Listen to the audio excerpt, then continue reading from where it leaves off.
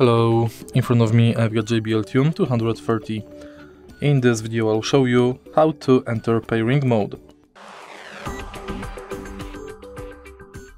In the beginning, enter Bluetooth settings on your smartphone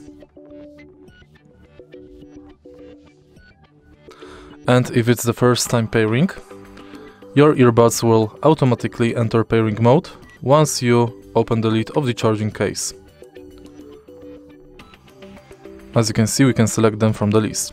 If it's not the first time pairing, to enter pairing mode, on each earbud, press once and the second press hold. Thanks to this gesture, you can enter pairing mode for your earbuds. If you find this video helpful, please leave like, comment and subscribe.